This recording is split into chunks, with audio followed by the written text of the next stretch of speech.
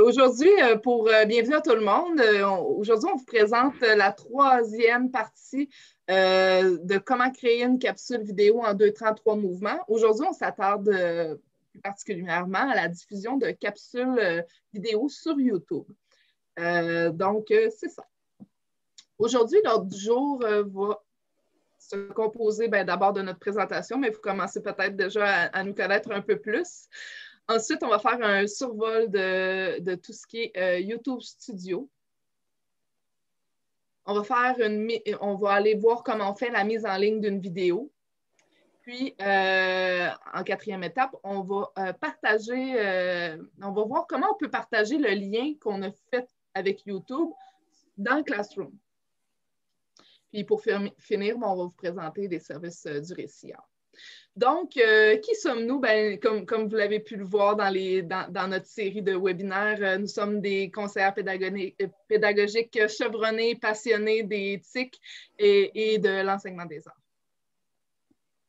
Je me présente, je m'appelle Mylène Bélanger, je suis nouvellement arrivée au Récit des Arts cet automne en remplacement de la merveilleuse Brigitte Louise Lessard. Euh, je suis, je suis, j'étais, je, suis enseignante de musique euh, depuis plus de 14 ans. Euh, j'ai développé à, travers les années une expertise en gestion de classe, en différenciation pédagogique et je m'intéresse beaucoup aux pédagogies actives. cette année, je porte les dossiers musique et danse. Donc, je te prête la parole, Marie-Ève. Merci. Donc, euh, c'est ça. Moi, je m'appelle Marie-Ève. Euh, j'étais enseignante en arts plastiques au secondaire et euh, je travaille pour le Récillard depuis, depuis cet été. Donc, moi, je m'occupe au Récillard plus particulièrement des dossiers arts plastiques et arts dramatiques.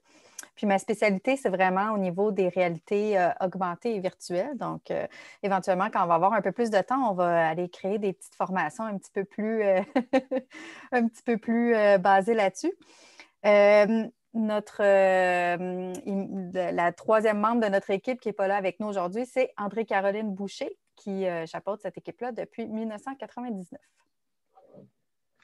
Donc, les intentions qu'on va couvrir aujourd'hui euh, avec cette ce webinaire sont d'abord vous apprendre à pouvoir partager votre capsule vidéo avec vos élèves facilement. Euh, ce webinaire s'adresse à des novices. Si vous êtes plutôt avancé, peut-être que cette, formation-ci ne correspondra pas à vos besoins, mais euh, donc c'est ça. Ça va vous permettre de vous initier aussi à YouTube Studio. Et euh, puis, cette formation-là, on la tourne un peu pour les utilisateurs de Google Classroom parce que, ne veut pas, on est dans l'environnement Google. Nous sommes conscients que le midi, euh, on est souvent pressé, puis euh, des fois, vous n'avez pas toujours le temps de terminer la formation et, vous allez l'écouter par la suite. Euh, on, est conscient de tout ça, mais on pense que c'est très important pour vous, si vous voulez recevoir l'attestation, d'avoir tout de suite les informations en début de formation pour que vous puissiez les remplir. Les attestations vous permettent d'avoir comme un petit certificat qui, qui démontre votre présence avec nous ce midi. Donc, euh, je vous invite, euh, si vous savez que vous allez devoir quitter plus tôt, à peut-être remplir tout de suite le formulaire pour vous assurer d'avoir euh, fait le tout avant la fin de l'après-midi, parce qu'on génère toutes les, formations en fin d'après-midi. Vous avez aussi le formulaire de rétroaction qui est à cet, endroit. Donc, euh, on va aller tout de suite s'attaquer euh, à faire un survol euh, de YouTube Studio pour mieux connaître l'interface puis les paramètres de diffusion. Ça vous va? Donc, je vous invite à, cliquer sur le lien suivant qui va vous amener directement au YouTube Studio. Oh, vous êtes bon, je vois, je vois les cliquer. Donc, normalement, est-ce que ça va pour tout le monde? Vous êtes rendu dans le YouTube Studio? Ils vont peut-être vous demander de vous connecter à votre, à votre euh, compte Google. Oui, c'est ça. Il faut avoir un compte, euh, il faut avoir un compte Google, donc soit votre compte Classroom ou un Gmail, une adresse Gmail si vous utilisez euh, ça personnellement, pour pouvoir vous connecter au YouTube Studio. Donc, euh, une fois arrivé dans le YouTube Studio, vous allez arriver sur euh, le fameux tableau de bord euh, qui vous indique les statistiques par rapport à vos, chaînes ou à vos vidéos que vous avez versées. Donc, aujourd'hui, on va moins s'intéresser à ce côté-là parce qu'on ne l'utilise pas de côté business, on l'utilise vraiment pour, pour nos classes. Donc, j'attire votre attention sur le côté gauche. Vous avez une série d'onglets qui vous permettent de bien naviguer sur euh, la plateforme du YouTube Studio. Donc, vous avez l'onglet euh, vidéo qui vous permet de, voir toutes les vidéos que vous avez versées euh, dans, votre, dans votre studio. Vous avez aussi un onglet qui s'appelle liste de lecture. Toutes les listes de lecture que vous avez réalisées avec votre compte se retrouvent ici. Et comme vous allez pouvoir voir un peu plus tard, on pourra euh, faire des ajouts de, nos vidéos dans certaines listes de lecture et même en créer. Les autres onglets servent beaucoup plus au niveau euh, lorsqu'on utilise YouTube de manière plus commerciale ou euh, en lien avec des chaînes. J'attire votre attention tout de suite à l'onglet Paramètres et je vais vous inviter à cliquer vous aussi avec moi on va aller activer une fonction qui va vous permettre d'aller, euh, de pouvoir télécharger des vidéos de plus de 15 minutes. Donc, je vous invite à suivre. Donc, on a pesé sur paramètres. Et là, maintenant, on va aller sur chaîne. Vous allez aller dans accessibilité aux fonctionnalités. Je vous encourage tout de suite à le faire parce que c'est souvent des, petites mécaniques qu'on se dit Ah oh, oui, oui, je vais le faire après ça quand ça va être fini. Là, ça prend quelques, quelques secondes, puis euh, c'est réglé comme on avait fait avec Loom. Donc, vous allez venir ici à la fonctionnalité qui nécessite par vérification par téléphone. Si vous avez un téléphone cellulaire, ça va aller rapidement. Vous pourrez reporter la, procédure à plus tard si c'est mieux, là, je ne vous oblige pas. Donc, je vous invite ici à l'activer. La mienne est déjà activée, vous allez devoir euh, appuyer ici. Il va y avoir une section qui va s'ouvrir à vous. Vous allez avoir le choix de pouvoir avoir un code par SMS euh, ou euh, un message cellulaire. Donc, je vous invite à, l'activer et si vous avez votre cellulaire puis l'envoyer par SMS, ça, prend quelques secondes, puis c'est réglé. C'est ça, parce que si vous le faites, si vous n'activez pas cette fonctionnalité-là, vous ne pourrez pas télécharger des, des, vidéos de plus de 15 minutes euh, c'est sûr qu'on vous a suggéré de, faire des vidéos de moins de, 7 minutes et moins, mais si jamais vous avez des vidéos un peu plus longues, par exemple des réunions euh, que vous avez enregistrées ou quoi que ce soit, euh, il faut que ce soit activé préalablement et aussi pour personnaliser la petite miniature, la petite vignette de présentation, d'introduction à la vidéo. si vous voulez téléverser votre propre miniature, c'est très intéressant parce que des fois, la, vidéo, on est pris des fois, ce n'est pas toujours agréable euh, comme visuel, donc ça donne un, beau fini. C'est bon? Ça va? Est-ce que la procédure est correcte? Ça vous va? Est-ce que je peux avoir des petits pouces en l'air pour me, valider que tout est beau? Je ne vais pas aller trop vite non plus. Donc, euh, tout est beau? Bon, oui, ben, j'ai envoyé le, compte. Là. la validation est envoyée là. Bon, super. Parfait. Donc, euh, je m'en viens maintenant au, à la partie qui nous intéresse le plus, c'est d'aller apprendre à euh, verser son vidéo. Donc, j'attire votre attention en haut à euh, droite sur le bouton Créer. Vous allez appuyer ici et appuyer sur Téléverser des vidéos. Donc, je vous suggère euh, de peut-être, si vous avez suivi nos autres webinaires, vous avez créé peut-être une petite euh, capsule vidéo euh, à partir de Capwing ou vous avez peut-être euh, utilisé Loom, vous avez fait une, une vidéo avec Loom, donc vous pouvez la télécharger. Donc, je vous invite à aller récupérer une de vos vidéos qui n'est pas trop longue, qui pourrait aller s'insérer. Vous avez deux façons de pouvoir insérer votre vidéo. Simplement glisser ici dans l'espace ou aller sélectionner sur votre ordinateur un fichier euh, plus précisément et vous allez le verser, téléverser. Aussi simple que ça. Ça va? Donc, nous voici euh, dans, l'onglet de réglage. Euh, ben, de réglage, on va faire le tour parce que c'est fait en plusieurs étapes. Ça nous permet vraiment d'aller couvrir tous les paramètres de la vidéo. Sachez que par la suite, vous allez pouvoir faire des modifications et je vais vous montrer comment.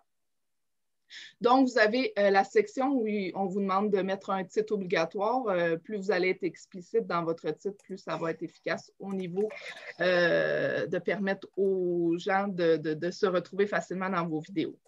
Vous avez le lien ici qui, qui est possible de copier, mais sachez qu'à la fin, vous allez pouvoir y accéder rapidement aussi.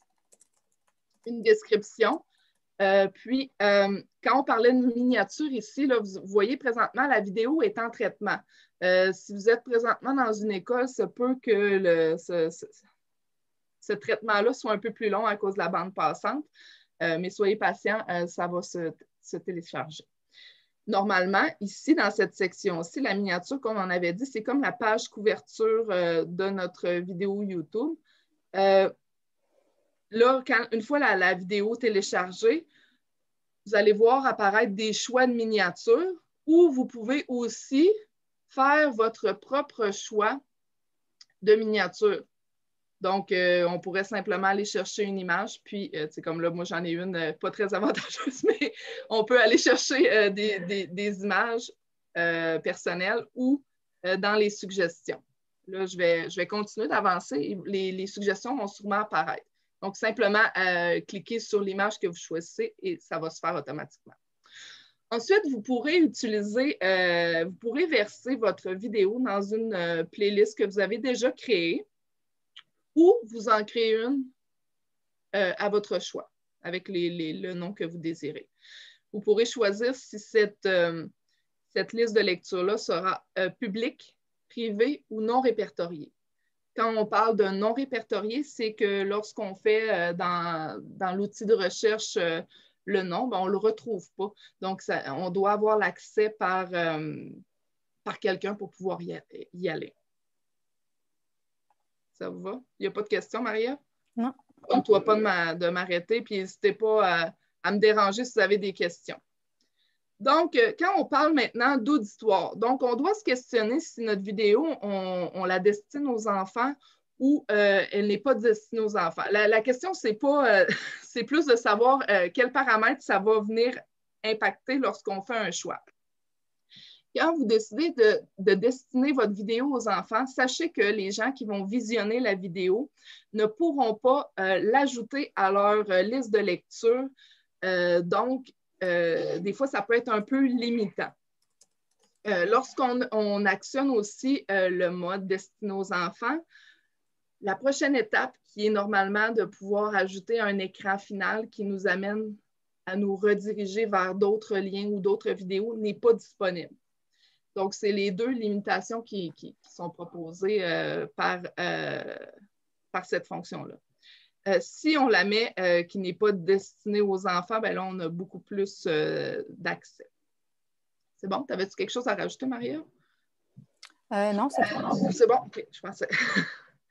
Dans les autres options, je vous invite à aller cliquer sur cette section-ci. Il, y a plusieurs, il y a plusieurs onglets qui, pour nous, pour nos besoins, ne sont pas vraiment intéressants, mais sachez que vous pouvez aller mettre des sous-titres euh, qui peuvent être générés par là.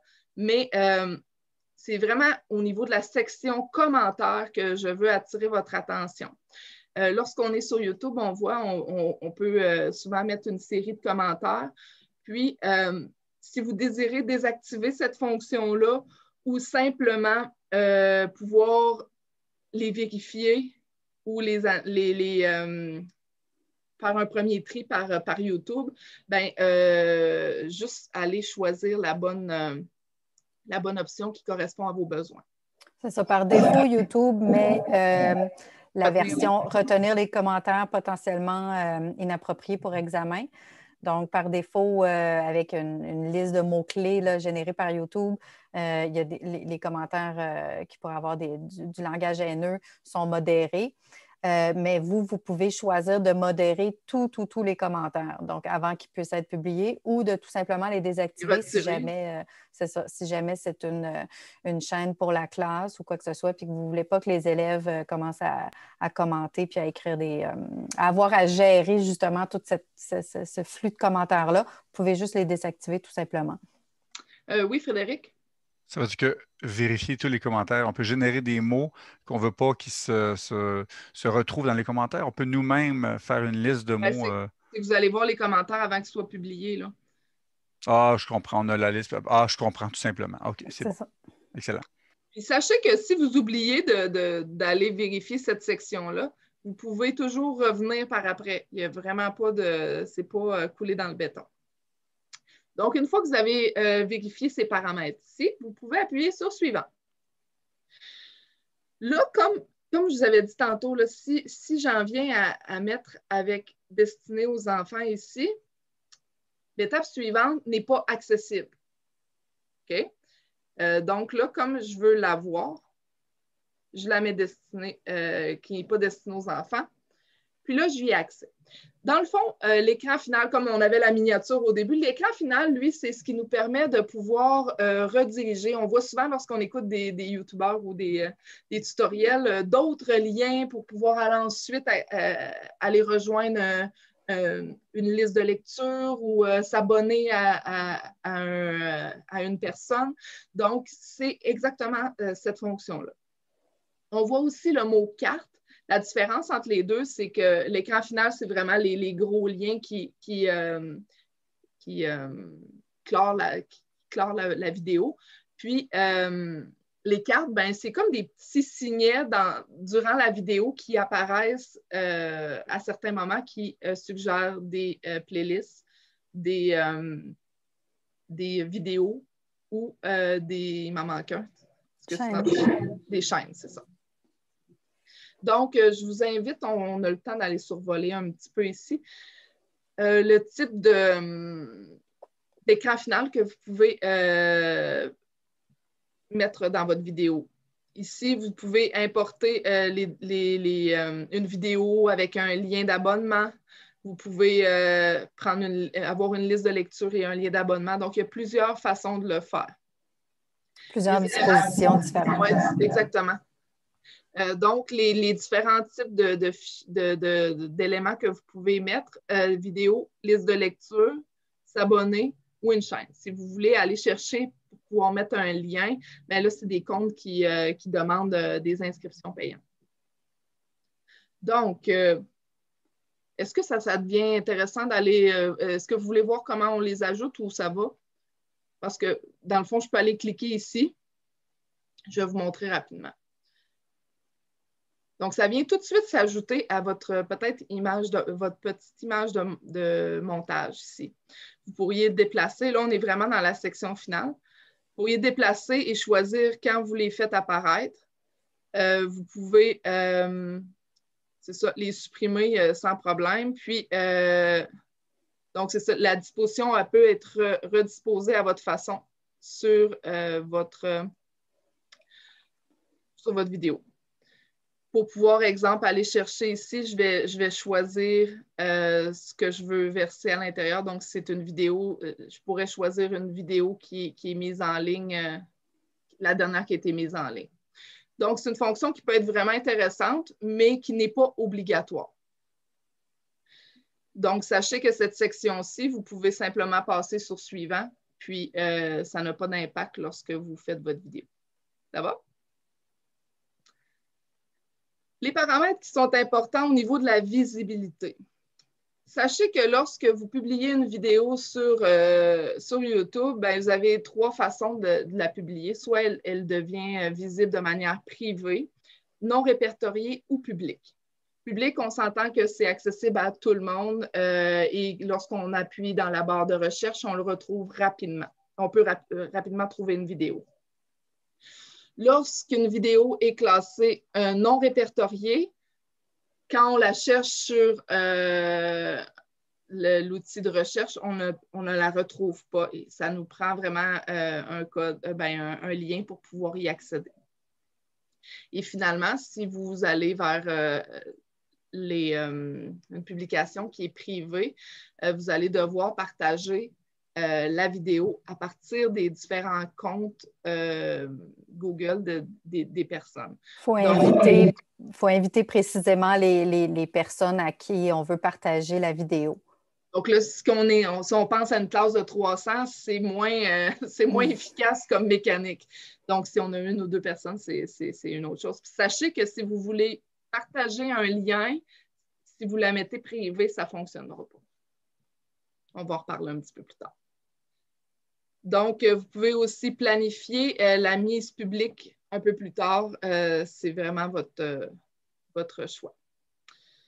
C'est bon, ça vous va? Donc, quand ces, différentes sélections-là sont faites, je vous invite à enregistrer.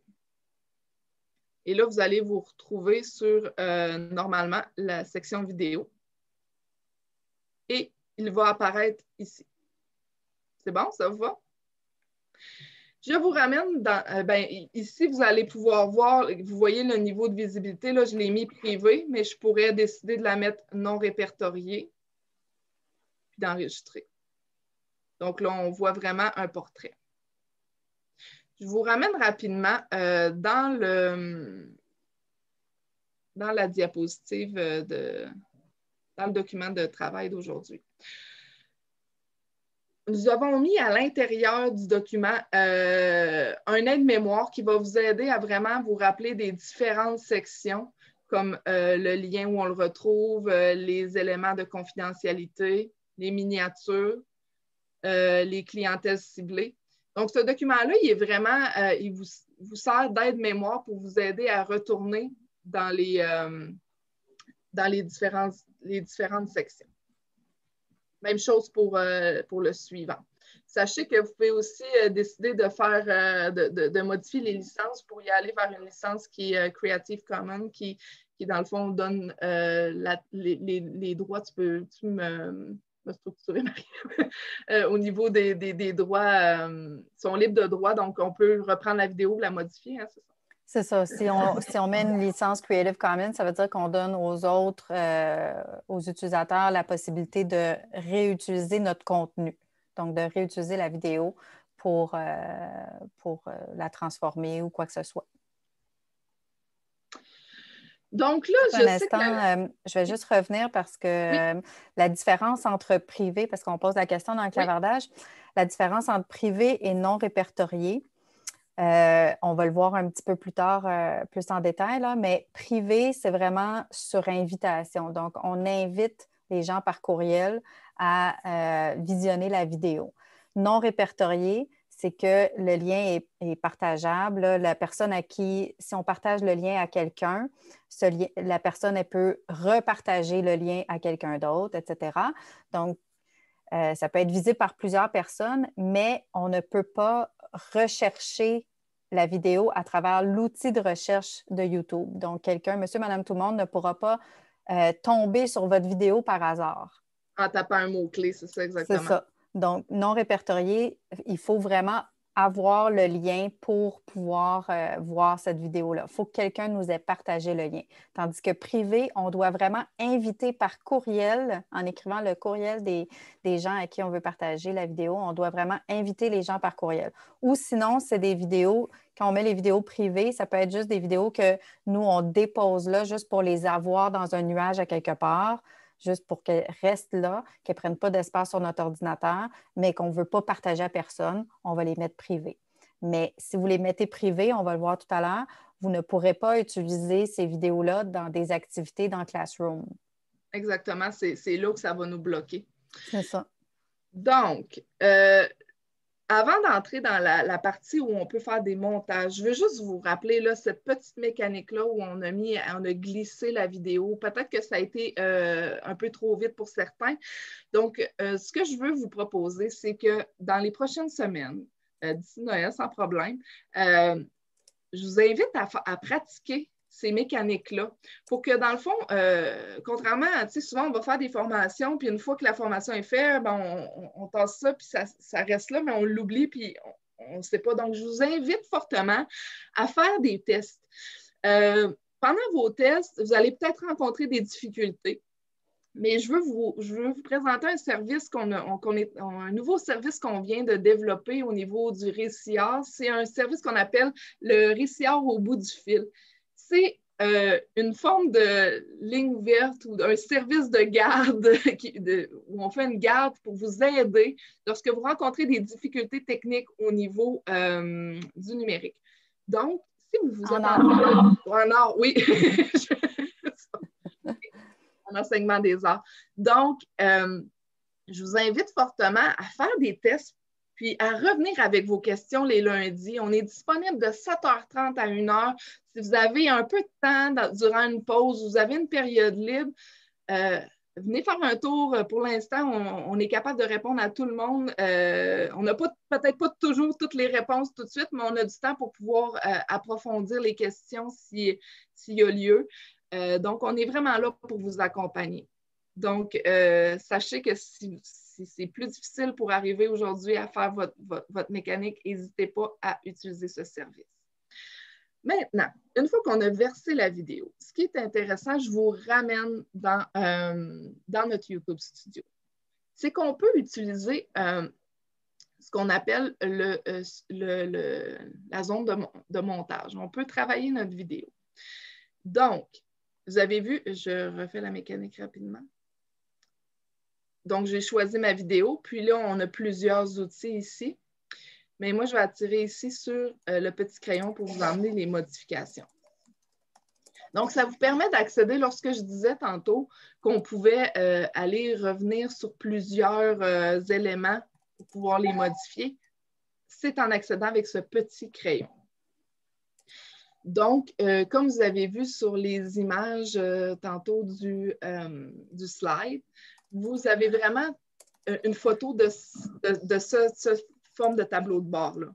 Donc, vous allez pouvoir aller euh, récupérer. Comme ici, là, on parlait de la, zone de visibilité. Si vous désirez la, la, passer en mode public, vous pouvez aller ici ou en mode privé. Euh, vous pouvez vraiment les modifier directement dans cette section-ci comme on avait parlé, la miniature, vous allez vous, retrouver exactement les mêmes choses qu'on avait étape par étape quand on a versé la vidéo. J'attire maintenant votre attention au monteur vidéo ici. Donc, en cliquant ici,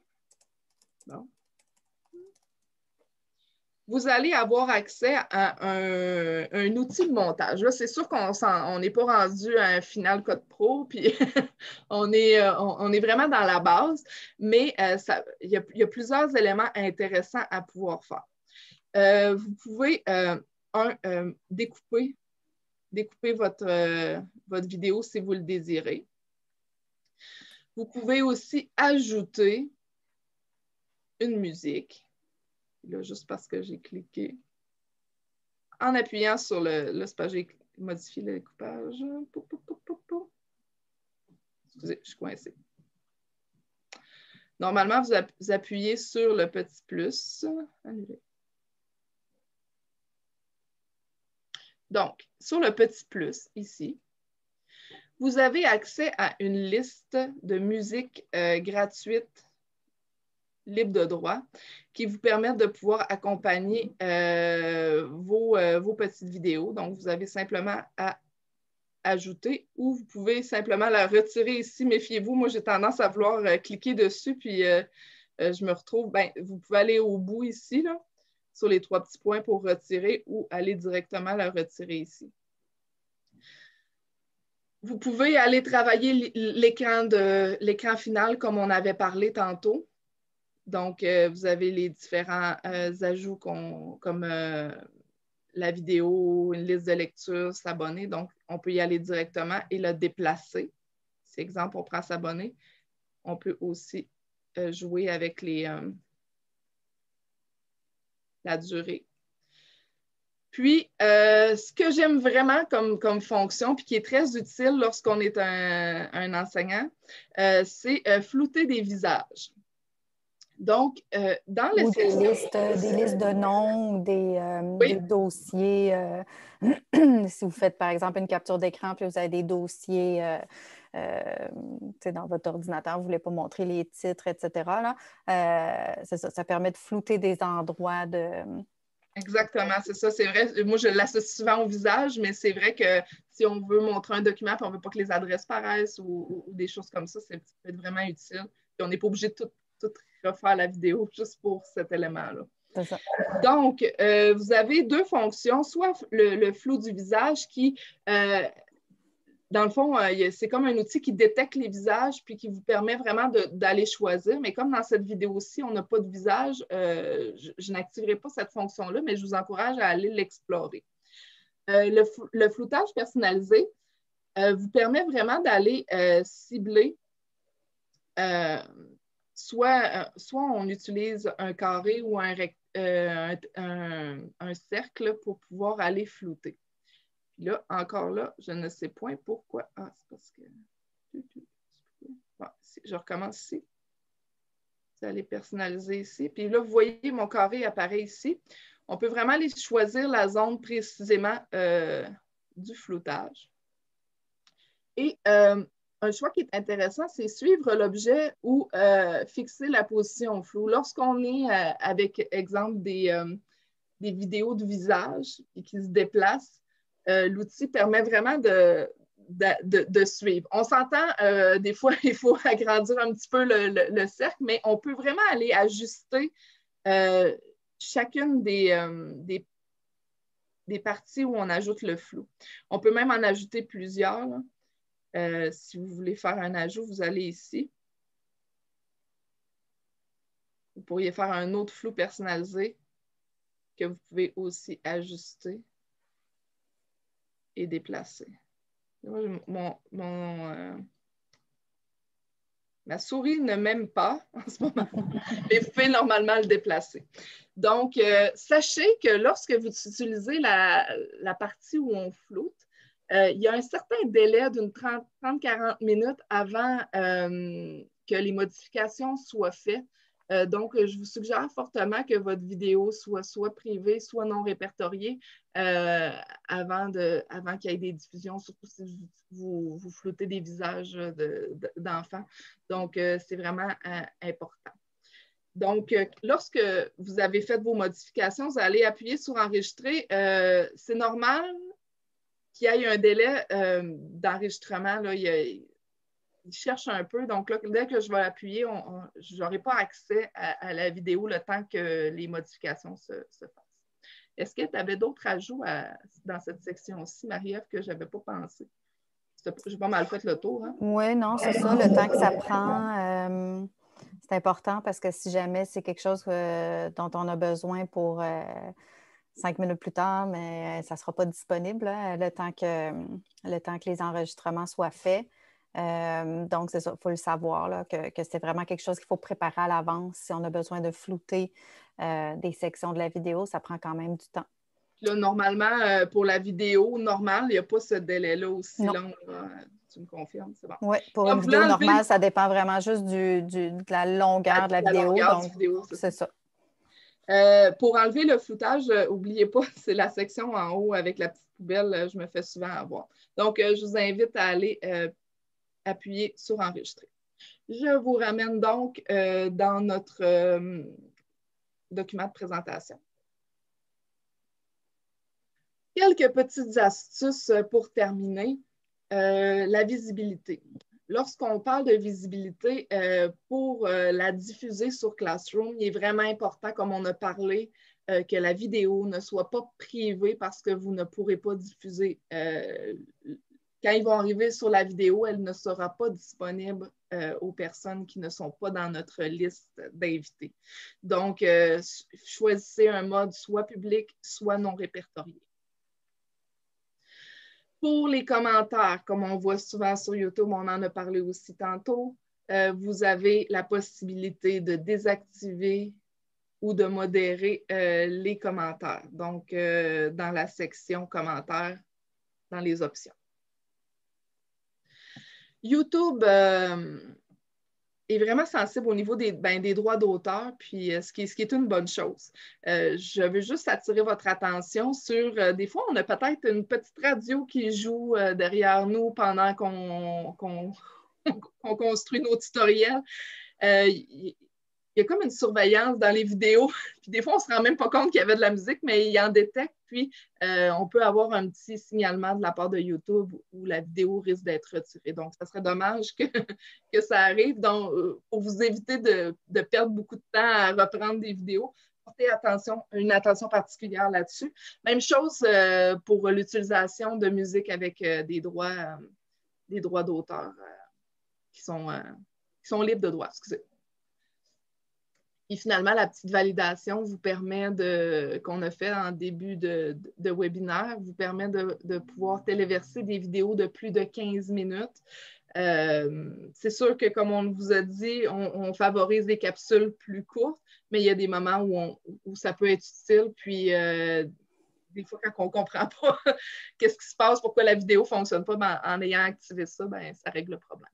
Puis, les, les fameuses miniatures personnalisées qui sont vraiment intéressantes. Ensuite, dans les, petites astuces, on a l'écran final qui peut vous servir de redirection vers euh, euh, une autre vidéo qui pourrait être très pertinente. Euh, vous pouvez vous en servir aussi pour suggérer une, liste de lecture à vos élèves ou simplement partager une chaîne d'un collègue être vraiment intéressant. Sachez que vous ne pouvez pas partager votre propre chaîne dans les écrans finaux parce que vous êtes déjà dedans. YouTube permet aussi de fractionner euh, une vidéo en, petites sections euh, pour permettre euh, aux, spectateurs de, pouvoir mieux se situer à travers un contenu de vidéo. donc, vous avez Là, sur le mot relié pour l'écran final, un petit tutoriel. Pour le mot section, vous avez un tutoriel comment euh, utiliser à partir de, du timeline, euh, comment créer vos propres sections. Donc, je vous invite à aller consulter euh, ce tutoriel-là, fort intéressant. Puis, finalement, la technique de flouter, vous avez aussi un tutoriel qui vous permet de refaire étape par étape la procédure qu'on a faite aujourd'hui. Euh, qui vous permet de flouter des visages d'élèves, mais aussi euh, des, euh, des, informations que vous ne voulez pas qu'ils soient diffusées. Maintenant, ben, pour finir, ben, c'est beau apprendre à diffuser une, capsule, mais comment je peux la partager dans un environnement de classroom? On on vous, propose trois méthodes de pouvoir utiliser à partir du lien que vous avez produit de votre vidéo. Euh, vous pouvez euh, maintenant euh, la diffuser dans Classroom.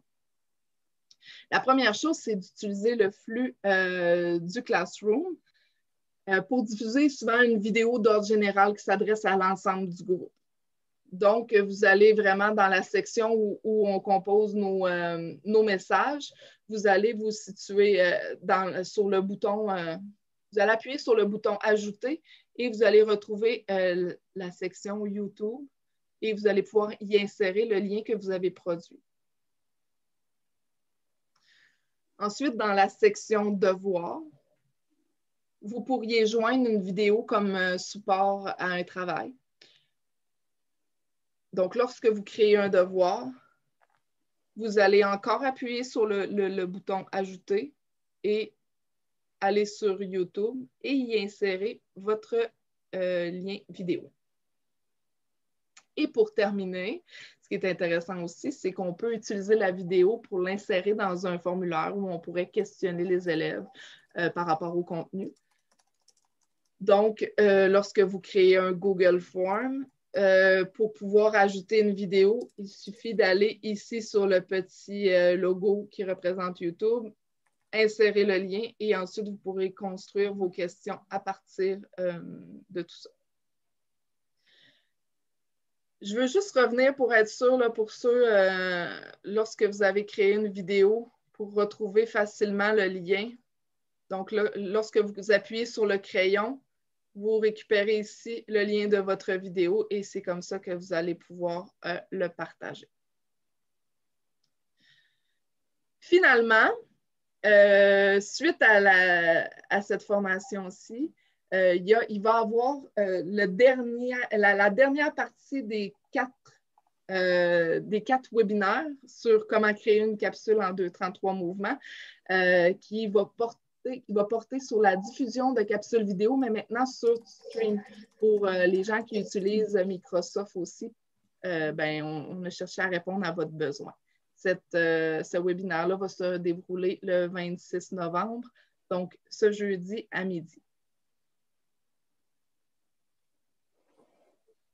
Est-ce que ça va? Y avait-il des questions avant qu'on clore, euh, avant de clore le tout? Non, ça va? Tu répondais au fur et à mesure? Oui. Donc, euh, je t'invite à peut-être euh, finaliser. Parfait. Donc, c'est ça, en terminant, vous pouvez toujours nous écrire un courriel ou à l'adresse que vous voyez à l'écran, service national à si vous êtes euh, des enseignants en art, on vous invite à vous inscrire à notre communauté en art via notre site web. On va vous montrer euh, dans quelques instants. Et aussi à vous abonner à notre page Facebook. Euh, c'est à cet endroit-là qu'on tient vraiment informé de, tout ce qu'on fait au fur et à mesure. Et si justement la création de capsules vous intéresse, vous voulez vraiment aller plus loin là-dedans, on a un cours dans Campus Récit, un cours en auto-formation qui s'appelle exploiter la classe inversée 4 heures, donc qui vous amène le pas à pas à, utiliser vos capsules, à savoir comment utiliser vos capsules pour euh, transformer votre classe en classe inversée. Sachez que tous les, oui, tous les, euh, les, liens sont cliquables et vous redirigent directement sur, euh, sur les, sites proposés. Donc, pour vous inscrire à notre communauté en or, vous n'avez qu'à aller dans notre euh, site web. J'ai partagé euh, juste euh, il y a quelques instants un, lien pour nos webinaires. Mais quand vous cliquez déjà dans ce lien-là, vous pouvez aller à l'onglet communauté en haut et remplir le formulaire demandé pour vous inscrire à notre communauté.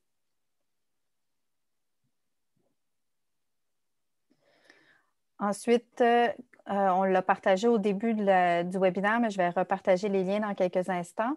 Euh, on vous invite à répondre à un très court formulaire de rétroaction, juste pour nous aider justement à, mieux comprendre vos besoins, puis euh, à recueillir votre opinion sur le webinaire que vous avez eu aujourd'hui. J'ajouterais aussi de l'importance de, prendre le temps de le faire parce qu'on cherche vraiment à répondre à vos besoins. Exact. Plus vous nous tenez informés, euh, plus important. Euh, des fois, dans le formulaire de rétroaction, vous voulez qu'on communique avec vous, mais vos noms puis vos, coordonnées ne sont pas, sont pas à l'intérieur. Donc, euh, je vous invite à, prendre le temps d'écrire vos coordonnées si vous voulez qu'on vous relance. Oui, exact. Euh, le deuxième lien, c'est pour demander votre attestation. Alors, si vous voulez une euh, attestation de présence euh, pour avoir suivi le webinaire aujourd'hui, que vous voudriez montrer à votre direction, par exemple, il faut remplir ce formulaire-là. C'est important de le faire aujourd'hui. D'ici une heure, les, les, attestations vont être envoyées en bloc.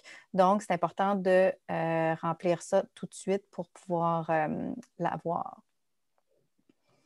Ensuite, euh, si jamais vous avez commencé à vous, euh, créer un portfolio euh, professionnel numérique, on offre maintenant des badges que vous pourrez trouver dans Campus Récit.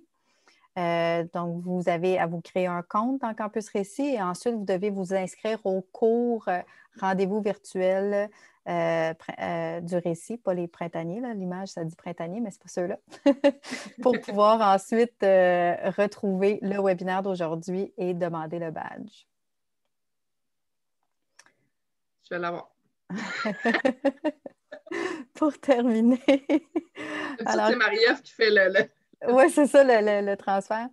Alors, combien de mots vaut une vidéo? Si une image vaut 1000 mots, professeur James McQuivy a calculé qu'une vidéo d'une minute vaut 1,8 million de mots. Parce que si on a 30 images par seconde dans une vidéo et 30, et 30 images dans 60 secondes, ça donne 1800 images. Donc, 1800 images dans une minute de vidéo et ça donne 1,8 million de mots en tout et partout pour une vidéo d'une minute. Donc, on vous remercie de votre présence.